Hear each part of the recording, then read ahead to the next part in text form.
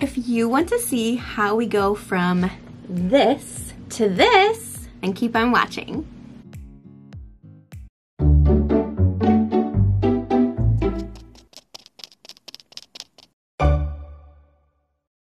Hi, I'm Kelly Nascimento with Kelly's Reading Korner, and today we're gonna do something a little bit different. I don't know if you watch beauty gurus on YouTube like I do, but yeah, they're some of my favorite channels to watch on YouTube and I've always enjoyed their chit chat get ready with me videos. So today we're gonna do it like Usborne Books and More style and do a chit chat magic paint with me. So I am just gonna talk your ear off while I magic paint a little bit. And so if you're like on the go, out and about while you listen to this, just have a listen. If you're home, cozy up, okay? I'm dressed in a cute lilac, which I heard is trending this fall, hoodie. We're pretending it's not 70 degrees outside. We're pretending it's fall and we're cozy. So I have my magic painting book ready to go. I am going to paint this fun little number here. This is the Unhurry Magic Painting Book. Grab cup of coffee, hot chocolate, wine, water.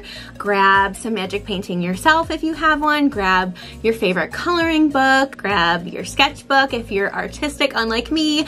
Just hang out with me. So what we're gonna do is I'm gonna just kind of talk about myself. I always find it interesting to hear about someone's past, where they came from, different things that they've done and have been into in their past, like people that I've met as adults. For example, there's this other UBAM consultant that I work with. She's incredibly systematic with her work.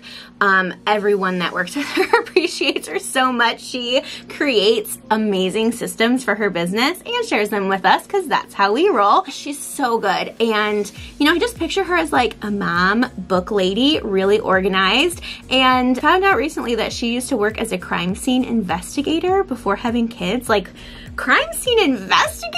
Like, what?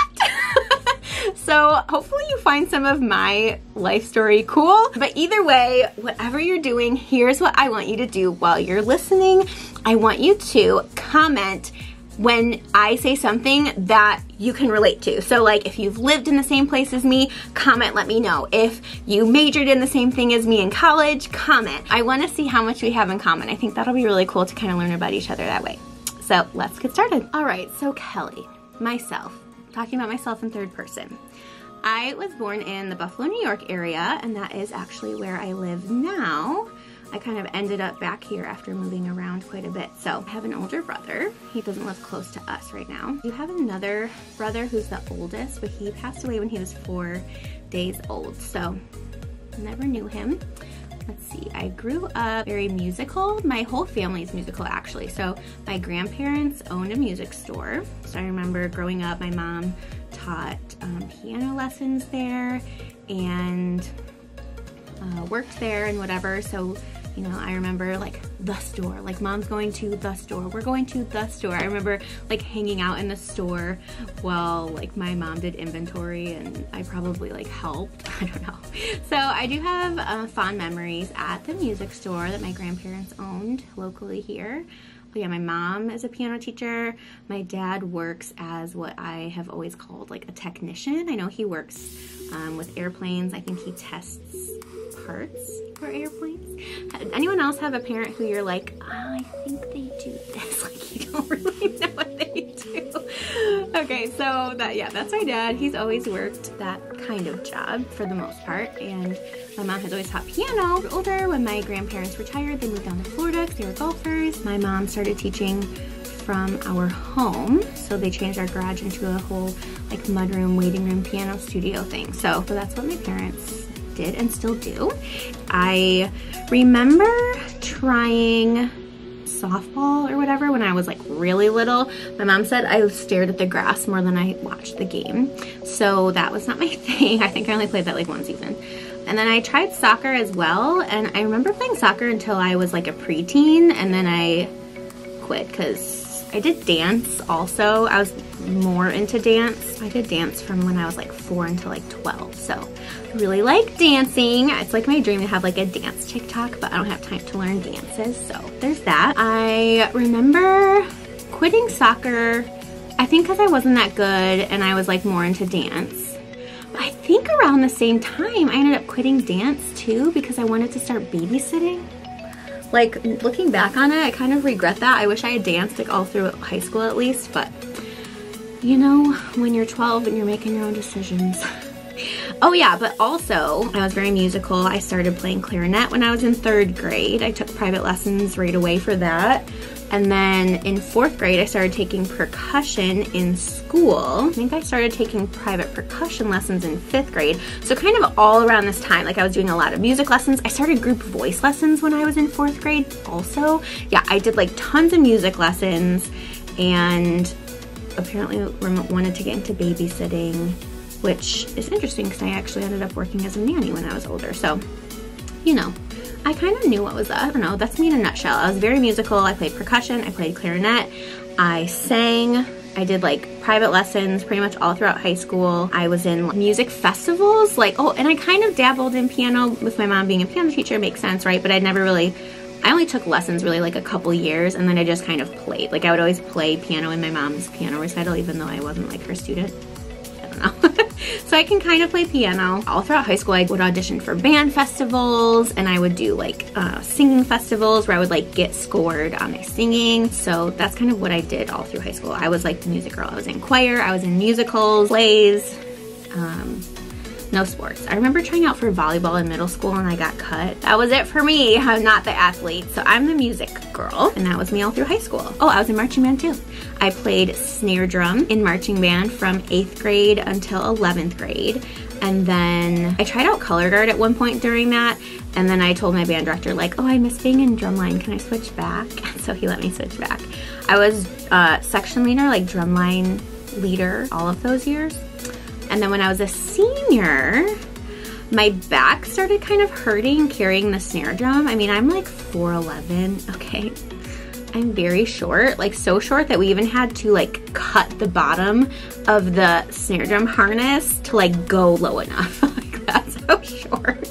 I decided not to play snare drum that year and I played timpani in the pit my senior year. That was really fun. I liked it because I had, I was like the one that started off one of the songs. Being in theater and music, I was, and like dance when I was younger, I was always one to love attention. That was kind of my personality. Like we have some home videos where I'm like, my mom will be like taping other people or other stuff and I'm like, look at me. Can you see me? Am I in the camera? I would, I just loved attention. Always did. Still, still kind of do. So all right, so that was me growing up. Hopefully you've commented some stuff that you relate to already.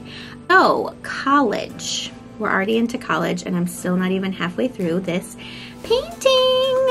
Maybe what I'll do, let's do a little speed sesh here where you just watch the paint and I'll take a little vocal break and we'll come back when I'm closer to being done with painting and we'll, you know, talk about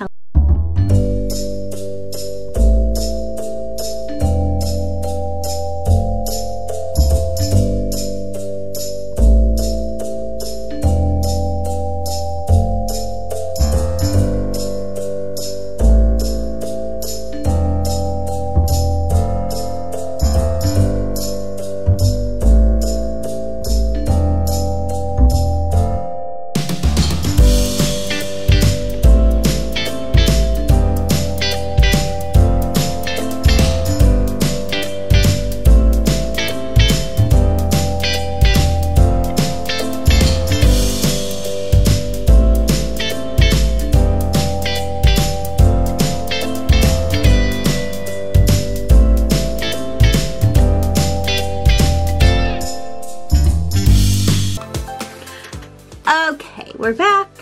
Kelly has a little bit more painted. You can tell I am extremely artistic. Okay, so Kelly college years. I had a pretty typical college experience, you could say, as far as just kind of figuring out who I was.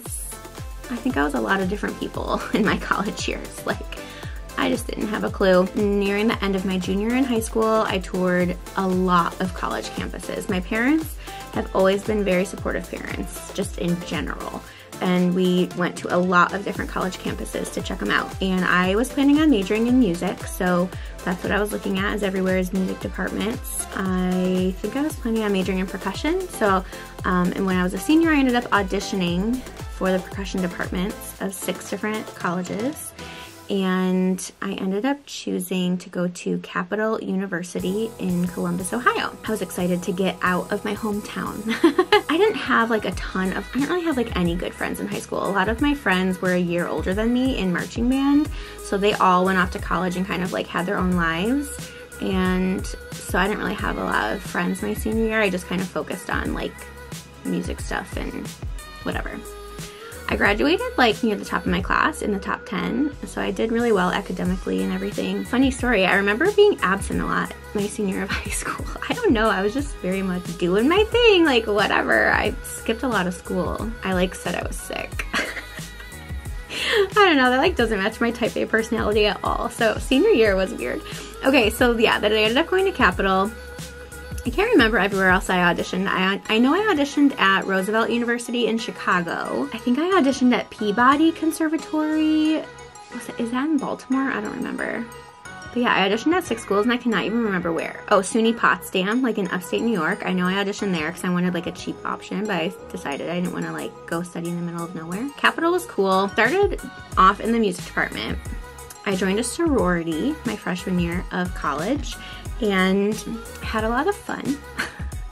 I did party in college. I did not party in high school. I was very much like a good girl. I got really into like organizations though. I also co-founded a pro-life group in college with a friend of mine. So we ran that together. I really enjoyed my sorority. I don't know if I like really related to my sorority sisters so much because I was like a music major and so I kind of had like my music thing. You know, I kind of had like these different lives, you know, so it's like I didn't really interact with my sorority sisters as so much on a daily basis besides like organizational things because then I was like practicing and I was in the music building and like nobody else was, you know. But I ended up changing my major one of many times and I think I was, I changed my major a lot. I cannot even remember, so let's not even bother trying to. But I do remember at one point my goal was to pursue a career in, I think I was gonna major in organizational communication maybe.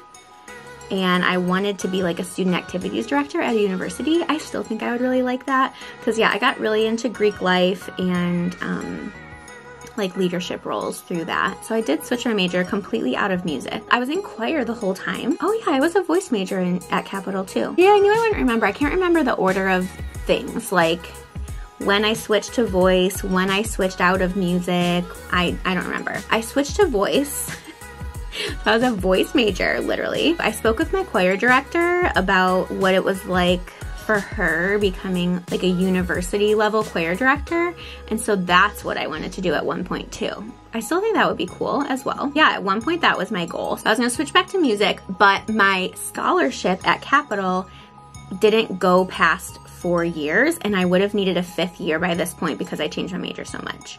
So I transferred to SUNY Fredonia, which is in Fredonia, Fredonia, New York, and it's like 45 minutes-ish like south of where I grew up, where I live. And being a state school, it was affordable. So I transferred to there as a voice major and then I missed percussion and I wanted to switch back to percussion. You can't make this up. So I I auditioned for the percussion studio and I, I made it in and I switched back to percussion and I, I believe I was music ed too for like a semester because I definitely took some like child development classes as an ed major. But I'm pretty sure I ended up wait no I ended up grad I I was just gonna say I ended up graduating as a performance major but no I, I have my bachelor's in music education. So I definitely like student taught and everything. I student taught band I did some student teaching for band in an elementary school and in a high school. Okay, yeah, so I graduated after six years of college. I graduated from SUNY Fredonia in 2011. Yeah, I graduated high school in 05. Shout out, comment below if who graduated high school the same year as me. And then I graduated with my bachelor's in music ed from SUNY Fredonia in 2011. I never really wanted to be a music teacher because even though I loved teaching music, I didn't want to work in a school system um, dealing with like administration and I didn't want to teach kids that didn't want to be there because you know a lot of kids their parents just like make them do band or whatever and that's not fun for music teachers. So, and I had taught privately out of my parents' house like during summers of college. I also nannied some summers and probably did both, like private lessons, like snare drum. I was like a classical percussionist. I wasn't like a drum set player, not like a drummer then. I decided to go to grad school for percussion, like just performance, okay? So I ended up audition. I don't remember where I auditioned for grad school. I really don't. I think Northwestern in Chicago was one of my potential grad schools. I had been to summer workshops for percussion and for timpani and stuff. Like I was really into all that. Um, man, there's so much I can't remember from my life. It's, it's such a blur. I can tell you, I ended up going to grad school as a percussion major at Indiana University in Bloomington, Indiana, a little bit outside of Indianapolis. So that's what I did. And I wanted to be an orchestral timpanist. Timpani was my favorite. I'll actually, this will be fun. I'll insert a little clip of me playing percussion here so you can see.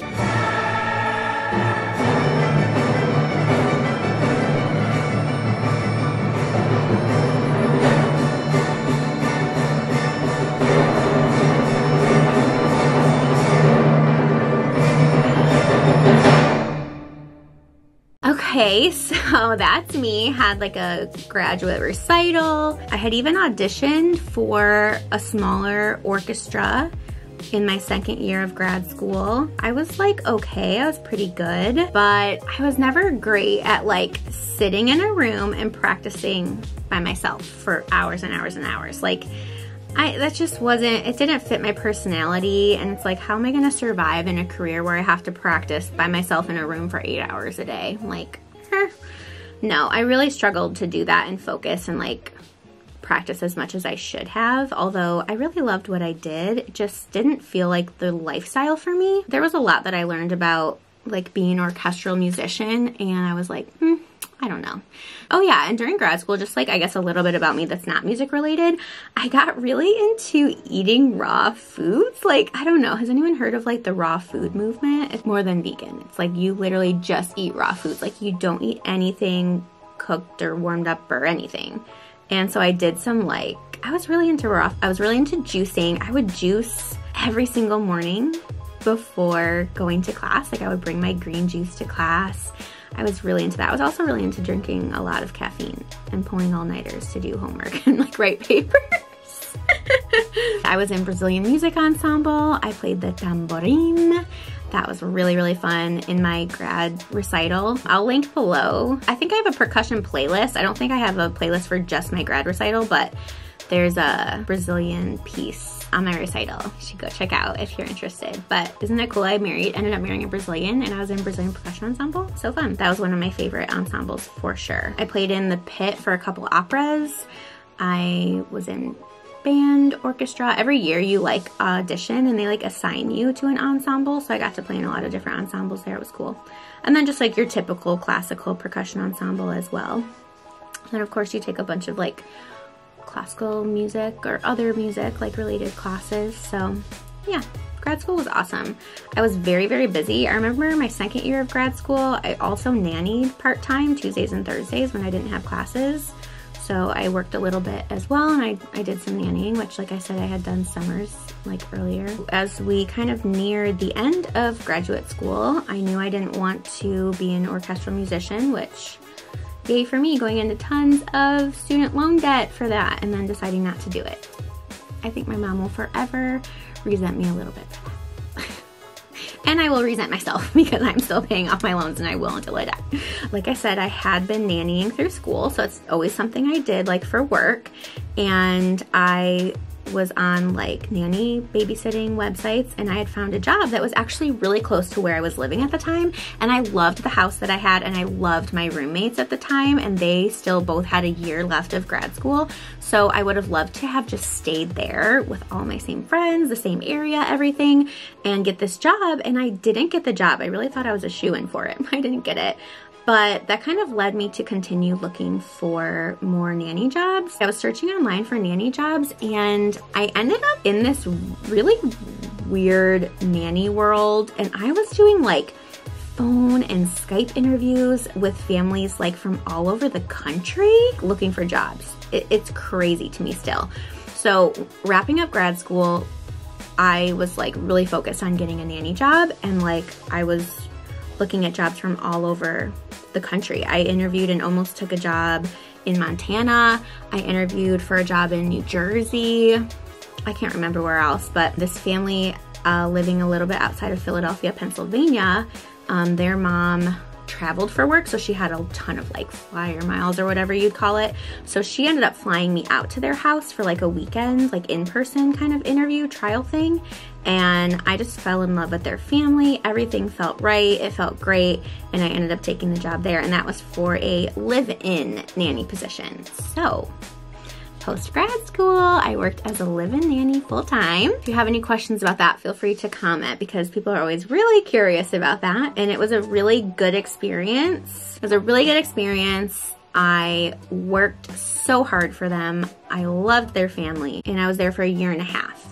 And after being there a year and a half, it just wasn't so good anymore. So that ended. While I was there, I taught some private percussion lessons. I lived on their third floor in just like this giant room basically, had my own bathroom up there. It was so nice. Like I loved so much about this time in my life as well. I taught some private percussion lessons because I had um, accumulated through grad school so many instruments. So I had like my whole little studio set up. It was wonderful. I loved it. I nannied three kids. When I started, they were, I think, five, eight, and 12. And I was there for a year and a half. While I was there, while I was working full-time as their nanny, kind of house manager role a little bit as well. I, you know, do some organization and set up some systems in their home and stuff. So, and I did their grocery shopping and so that was fun to get into. I helped with laundry, all that kind of stuff. And I also became a Kindermusik instructor. So I did teach some Kindermusik lessons for a little bit. That was fun. I didn't really date while I was there. I was just kind of working and doing my thing and I was really involved in their church. So let's like talk about that for a quick When I was in my undergrad, I was very much figuring out who I was. And I had attended a few different churches, like of friends of mine or whatever. And I was always kind of just open to like learning about other religions and stuff. Then when I was in grad school, I actually was getting like really into my Catholic faith and like trying to learn more about that because I had grown up Catholic, but not really like knowing much about the church like what I believed, honestly. Then when I got this job, I knew that they were of a different religion because I wasn't allowed to have alcohol or coffee in the home. And so what they were were members of the Church of Jesus Christ of Latter-day Saints. You might know that as Mormon, although we don't say that anymore. We say like the name of our church now as directed by our prophet. Like I said, I was trying to really like learn more about Catholicism and be a faithful Catholic. And because I sang, I also had often cantored at my church um, like growing up and different churches and sing for funerals and stuff like that. So I found a Catholic church that I really liked. I tried out several of them and I found one I really liked and I cantored for them, I think. And then after working there and living there for about four weeks, I went to church with the family because I lived with them and was like practically helping raise their kids. So I really wanted to learn more about their faith. So I went to church with them and it immediately sent me on this journey of figuring out what church I felt was the right church and the true church. And I mean, that could be a whole nother video, but actually I do have a lot of videos on my other YouTube channel, like my old one, Um, maybe I'll just link that playlist below. I believe I have a playlist of it. Long story short, I converted and became a member of the Church of Jesus Christ of Latter-day Saints. I got baptized while I was living there. So I was really into church stuff while I was there too. I was really into family history work, so I did that at the church a lot. That was a lot of my life while I lived outside of Philadelphia as well. So that kind of leads into the next thing, and I'm on my very last spot of painting, so I'm gonna speed the story up while I finish up here. So we are in 2013 when I left my job there. I ended up looking for a nanny job in Utah because, you know, all the Mormons live in Utah and I wanted to just see what it was like to live there. So I found a great job there, felt so right. I just had a phone interview and a Skype interview and I went there. That was a live out position, so I did find somewhere to live. I had a friend there who I met in Philadelphia. She was a nanny of another family in their church. So she helped me find a place and I moved in with a bunch of roommates in Provo and it was so fun. And I was just like, loving my nanny job, working 40 to 50 hours a week, four kiddos, house managing for them as well, doing tons of organization projects, again, grocery shopping, laundry, play dates, driving new activities. It, I was living the single life, loving it. I was dating a ton out there and just like really coming into myself. I feel like, like as a young woman, I just like kind of had stuff figured out. I was loving everything I was doing. Wasn't really playing percussion, doing music stuff anymore. I was a beach Beachbody coach, so I was working as a beach Beachbody coach. I was really getting into like working out and my health. I don't know, just living the single life. It was so fun. Let's see, after that, so that job, similarly to the other one, is kind of and at least in my experience, this isn't, this isn't everyone's experience as a nanny, but in my experience, too personal. It's like difficult to work in someone else's home every day and get really close to their kids and get really involved in their lives and but like you're not family. You know what i mean? It, it's kind of weird. It's tricky. And so that job ended uh, after about a year and a half as well. And so after that i was just looking for any nanny job again and i was looking all over the country again. Um, and i ended up taking a job in texas that was an interesting job. That was a live-in position and I only was there for two months. I nannied a 10 year old boy and the mom was a pilot and so she was gone for like days at a time and then home for days at a time but they had um she had this rule that like I couldn't have anyone over to the house ever so I was like really isolated there like I tried to kind of get into my church but I couldn't always attend because sometimes I had to be home with the kid on Sundays and it was a, a weird situation and she didn't really treat me as like a respected employee so there was weird vibes there. So I actually ended up feeling like, ooh, this is not like the situation I want to be in. So I gave her like two months notice. Like I literally was like, I will stay as long as you need me to stay. But like, this isn't right for me. So I ended up moving back home. I was like, okay, let's just kind of restart. You know, it's like I had been all over. I changed my major a hundred times and I lived here and there and kind of figuring myself out. And then I'm like, I don't, I don't know. Let me just go home, go back to my parents. I was like turn, about to turn 30 at the time. I got a nanny job in the Buffalo area at first and I was like, let me just kind of figure it out, you know? Also at the same time, when I lived in Utah near the end of my time there, like I had met my husband on eHarmony. Didn't know he was gonna be my husband at the time, of course, because he was just like another guy I met on like a dating app.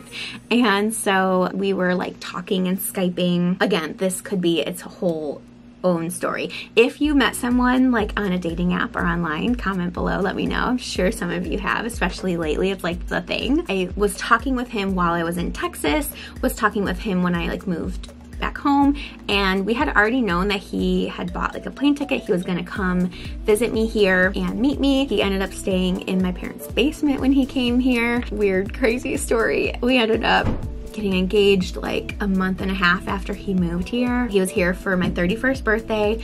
We got engaged. We got married two months later after getting engaged. So uh, like really fast.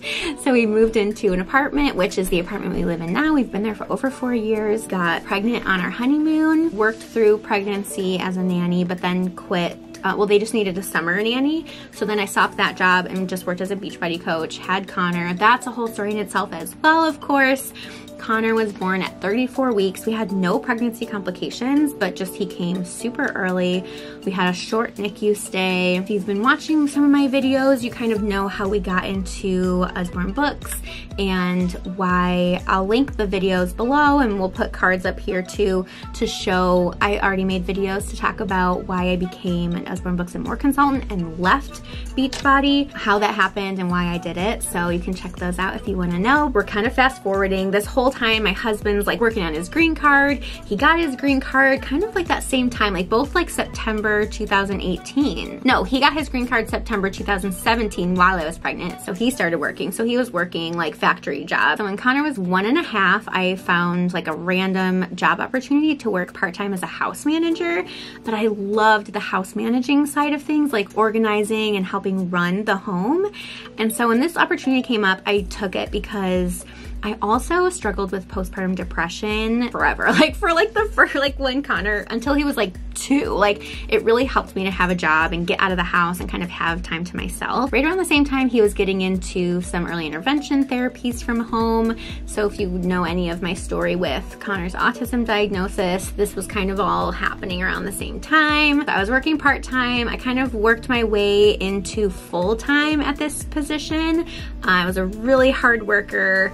Was overworked, but I was, I'm also like naturally an overachiever. So I'm like, yeah, let me do this. Oh, I can do this too. I'll do this. And so I really stepped into this like major house manager role working full time and I was trying to juggle my Usborne Books and More business and we were having Connor in like a bunch of therapies. This is also pandemic time like right after Connor turned two was when the pandemic started. So, but I kept my job because she needed people to run her household and watch her kids. So that job, let's see, I ended that job after a year and a half. I think I was there because I just, it was too stressful. I was burnt out. And so I ended up quitting and turning Usborne Books and More into my like kind of full-time business. And wow, that seems like so crazy and jumbled, but like if you've been following me for a little bit, you kind of know my more like recent story, I suppose. So, I mean, that's where we are now. Connor's three, he has his autism diagnosis, he's in preschool, he has tons of therapies, he's my whole life. So I love that my job now is flexible. I really need ultimate freedom to like prioritize my family and Connor. That's my life story, I guess. Comment below if you haven't yet, anything that you found that we had in common. Have you lived in Texas, Utah? Are you Catholic? Are you a member of the Church of Jesus Christ of Latter-day Saints? Are you really into music? Do you love classical music? I listen to classical music on the radio. it's pretty rare that I actually listen to like other radio stations besides classical in the car, unless I'm listening to Laurie Berkner with Connor. He loves Laurie Berkner. I'm so excited to read the comments and see what we have in common. Sorry I had to wrap up really fast at the end there, but if there's anything that you kind of want me to dive into more, I would be so happy to do that. We can do like a a chit chat color with me video. so here is the finished product of the painting. It's so pretty, isn't it? I really, really like it. Oh, and it was really nice to like sit for a video too and just like chit chat. That was so nice. I hope you enjoyed it. I hope you enjoyed hanging out with me. If you did enjoy it, give this video a like and make sure you subscribe to my channel. Um, if you didn't know, 99% of the people that view my videos are not subscribed. So if you are enjoying my content, make sure you subscribe because it helps my channel. And if you're subscribed and you flip on the notification bell, you'll get notified every single time I post a new upload. And I do upload flip through videos every single day and a longer format video like this about once a week. So you definitely wanna make sure that you don't miss them. Thanks so much for watching. I'll see you later.